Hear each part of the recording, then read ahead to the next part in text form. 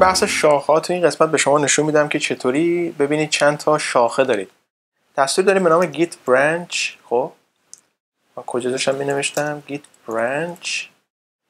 به شما نشون میده که شما الان یک شاخه بیشتر ندارید و جلوشو برای شما سبز می‌کنه و یک ستاره میداره شما به این رنگ توجه نکنید به این ستاره توجه کنید چون زمان به زمان این رنگش عوض میشه و شما نمی‌خواید چشمتون عادت کنه به این رنگ سبز. پس بنابراین وقتی ستاره دارید جلوش به شما میگه که چی؟ الان شما داخل شاخه مستر هستید شاخه اصلی هستید. الان اگر من اینجا تایپ بکنم cat.git head خب اشاره ببینید داره می‌کنه به refs داخل این پوشه refs head master. یادتون میاد که ما یک همچین چیزی داشتیم که داخل پوشه ref refs یه head داشتیم یه master خب یه پوشه اینجا هستش. الان اگه من تایپ بکنم ls-la و بعد تایپ بکنم .git refs و بعد تایپ بکنم heads.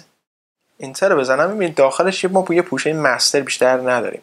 حالا بهتون نشون میدم که چطوری یک شاخه بسازیم و پوشه این master میشه دوتا ولی قبلش اول بیایم تایپ بکنیم.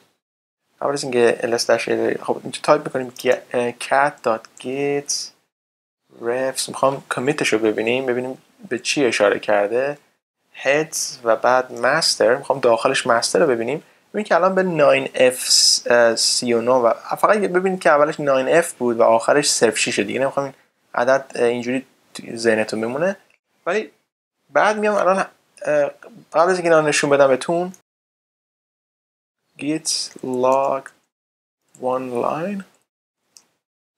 9f 9f می‌بینید اینجا داره به همین آخری اشاره می‌کنه. پس این مستر بوده.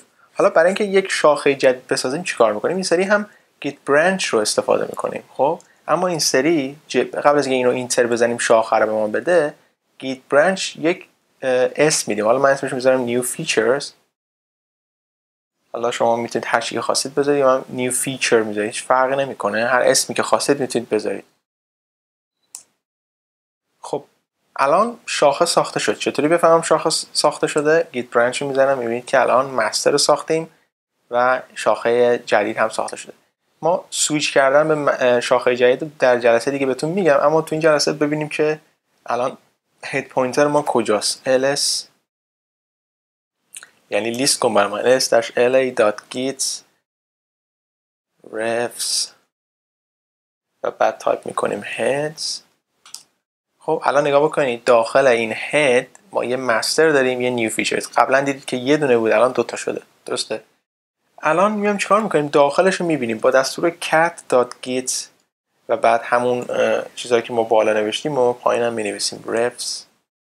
و بعد از refs چی بود؟ head بود.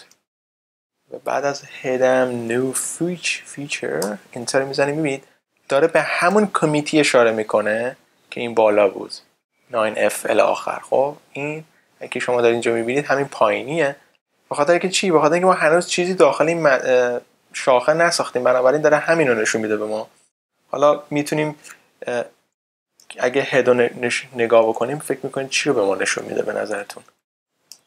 می‌بینید داره الان master به ما نشون میده. خب ما جلسه دیگه در مورد اینکه چطوری بین اینا سویچ بکنیم از master بریم به new features صحبت خواهیم کرد.